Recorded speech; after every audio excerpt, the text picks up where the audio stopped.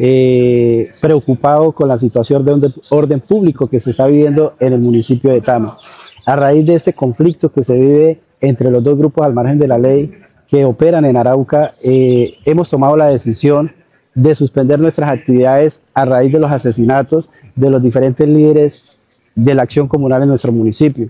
Eh, es por eso que suspendemos las actividades a partir de la fecha hasta que haya garantías por parte del gobierno nacional para cada uno de los líderes, así como lo exige la Constitución Política de Colombia y la misma Ley 2166.